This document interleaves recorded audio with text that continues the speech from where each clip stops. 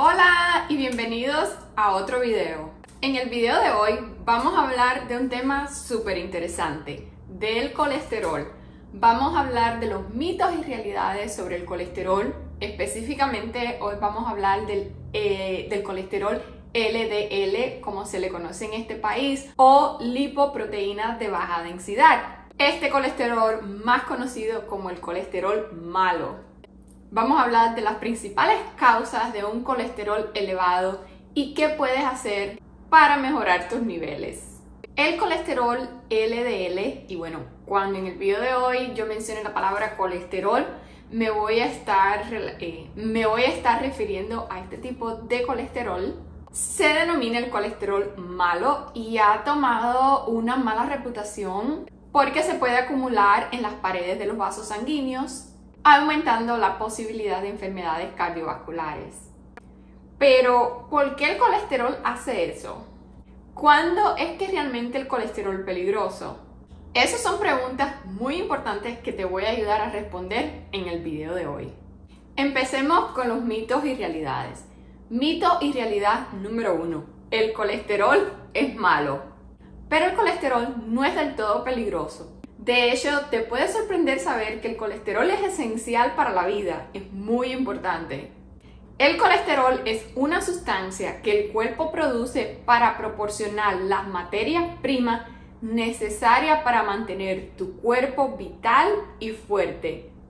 Por ejemplo, el cuerpo necesita colesterol para producir hormonas y células sanas. Está incluido en la membrana de cada célula de nuestro cuerpo y es esencial para la regeneración celular, por lo que va a ser necesario para reparar tejido dañado y bueno, para regenerar tejido nuevo. También el colesterol es la materia prima inicial de todas las hormonas esteroides en tu cuerpo.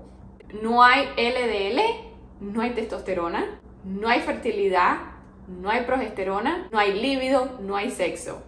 Mito y realidad número 2. El colesterol LDL tapa las venas causando enfermedades cardiovasculares.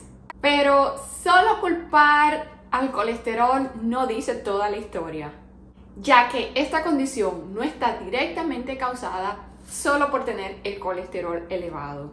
Por ejemplo, puede existir una misma persona con un nivel de colesterol alto, pero lleva una vida saludable o lleva una vida que no es tan saludable y esa misma persona puede responder de forma diferente bajo ese colesterol alto. Puede llevar una vida muy sana o sí puede tener un alto riesgo a una enfermedad cardiovascular. No me malinterpretes, el colesterol elevado sí puede causar estragos, pero de nuevo, culparlo únicamente por la causa de una enfermedad cardiovascular no te está diciendo toda la historia. La verdad es que nuestro colesterol LDL tendrá un comportamiento beneficioso o peligroso según el grado de inflamación y estrés oxidativo presente en nuestras arterias, que depende de otros factores como el control eh, del azúcar en sangre, el estado antioxidante, la salud y la fuerza del sistema inmunológico, la capacidad de desintoxicación, la salud intestinal, suficiencia de nutrientes, así como tu nivel de actividad física. Y de hecho, las estadísticas demuestran que más del 50% de las personas que han llegado al hospital con una enfermedad cardiovascular, que han tenido un ataque cardíaco, han tenido sus niveles de colesterol en un número óptimo eh, según el rango que, bueno, que nos enseñan hoy. Mito y realidad número 3. La comida es responsable por un colesterol alto. La investigación demuestra que si eh, consumimos o disminuimos la, cantidad de colesterol que ingerimos en nuestra dieta, nuestro hígado simplemente cambia la cantidad que produce en respuesta para mantener el total que se necesita para nuestro estado general de salud. De hecho, la comida alta en colesterol solo impacta en aproximadamente un aumento en un 20% de tus niveles de colesterol. ¿Se recuerden de eso de que el huevo eh, subía el colesterol? Bueno, gracias a Dios eso es hoy uno de esos mitos que se han derribado, porque bueno, el huevo puede ser un alimento muy saludable. Pero de vuelta a ese proceso de reciclaje eh, de tu colesterol por el hígado. El hígado procesa el exceso de colesterol para eliminarlo a través de la bilis. Y ese transporte de colesterol al hígado para su eliminación biliar es esencial para mantener el equilibrio de colesterol y es lo que a veces se conoce como el transporte inverso de colesterol. Así que sí, el sistema digestivo es gran responsable de ese mantenimiento estable en equilibrio del colesterol. Ya que hemos hablado de esos mitos y realidades sobre el colesterol, vamos a hablar de las causas más comunes de un colesterol elevado. En el caso de los hombres es muy común que si están lidiando con un problema de resistencia a la insulina y ya está muy avanzado, pues a un punto en el que su cuerpo está produciendo mucho colesterol como una eh, respuesta del cuerpo para curar ese daño que está causando esa glucosa elevada que es muy tóxica para tu cuerpo en el revestimiento de las arterias. Entonces, bueno, el cuerpo dice, tengo que mandar colesterol porque hay un tejido dañado y desafortunadamente, bueno, pues esa arteria que está inflamada bajo ese estrés oxidativo, pues ahí eh, se puede acumular ese exceso de colesterol, creando lo que se conoce como placa. Otra causa muy común es el estrés. Eh, ya sabemos que el estrés enferma y bueno, el colesterol eh, no es una excepción. El estrés elevado por sí solo te va a elevar, eh, te va a elevar el colesterol, ese sistema nervioso simpático de lucha, huida o esconderse, por sí solo va a aumentar los niveles del colesterol. También puede haber un estrés físico causado por una eh, infección crónica por la que estás sufriendo o por una infección viral. Bueno, esa combinación de resistencia a la insulina y estrés desafortunadamente hoy son muy prevalentes en nuestra sociedad. En el caso de las mujeres es muy importante mirar el caso de una disfunción tiroidea, ya que es mucho más común en las mujeres. Y bueno, cuando hay una función lenta de la tiroide, todo en el cuerpo se hace más lento, incluyendo el hígado y su capacidad de eliminar el colesterol, como ya vimos anteriormente.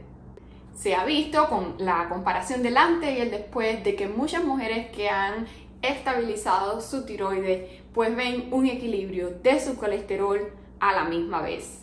Así que, ¿qué hacer?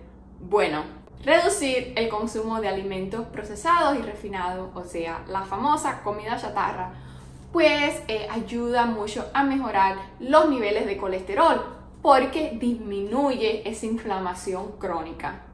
Incluye fibra en tus comidas como vegetales, frutas y elimina esos aceites refinados, esos que generalmente los usan para cocinar y para freír eh, de canola, de maíz, de soya, porque está comprobado que ese tipo de aceites causa resistencia a la insulina, que causa inflamación, lo cual puede llevar a que desafortunadamente eh, esa placa eh, se construya en las arterias.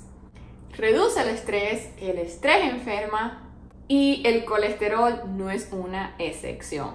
Si tu doctor te dice que tienes este colesterol malo, elevado, pues trabaja con él para identificar de raíz qué es lo que lo puede estar causando. Y bueno, y si tu doctor entiende de esto y es de los que nada más te receta una pastilla, pues búscate otro doctor que entienda y que realmente te ayude a encontrar la raíz de tu problema.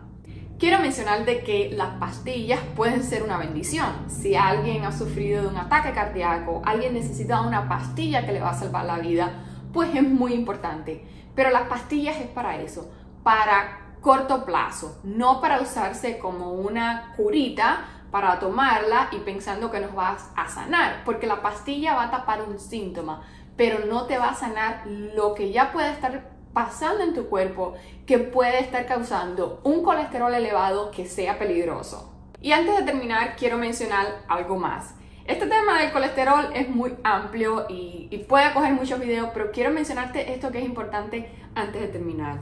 Es que el nivel del colesterol LDL, este colesterol malo, es un cálculo. Eh, es como para ponerte un ejemplo, te digo que hay una bolsa de naranja de 5 libras, pero eso no me dice si esa bolsa de naranja trae naranja grande, jugosa, dulces, deliciosa, o si trae naranjitas chiquitas, ácidas, engurruñidas, eh, que no son muy buenas. Y lo mismo con el colesterol. Ese examen no te dice cuántas partículas de ese colesterol, de esas naranjas eh, ácidas eh, engruñidas hay. Y si tú llevas ya un estilo de vida saludable, comes muy bien y tú sientes que tú tienes tu colesterol alto, pues eh, puedes pedirle a tu doctor un examen más avanzado de colesterol. En el caso de los laboratorios más usados acá es LabCorp y Quest. Em, se llama Cardio IQ Test y ese te puede decir si eh, ese colesterol está formado por esas partículas de las buenas o de las malas, que sí va a ser un indicador más preciso eh, de un riesgo cardiovascular. Para concluir, el colesterol LDL elevado por sí solo no es un indicador de una enfermedad cardiovascular. Es un indicador de que hay que averiguar más qué está pasando, qué lo está causando. El LDL, ese colesterol elevado, eh, no es necesariamente malo pero más bien depende del estado de inflamación del cuerpo que sí puede llevar a una enfermedad cardiovascular. El LDL es necesario para la vida. No hay colesterol, no hay hormonas de la sexualidad, no hay reparación celular. Es necesario para la producción y regeneración de células y tejidos. Espero que este video haya traído un poco de luz a este tema del colesterol míralo las veces que sea necesario y si hay algo que mencioné que realmente te interesa y que quieres investigar más, investigalo más. Al final del día, la raíz de la mayoría de los problemas de enfermedades de hoy eh, tienen como raíz comida chatarra, estrés y toxina. Así que eh, tú como individuo único piensa que tú tienes que maximizar que es bueno para ti, que tienes que minimizar que es malo para ti y, aquí, y a qué tienes que darle prioridad para que tú puedas vivir tu mejor vida.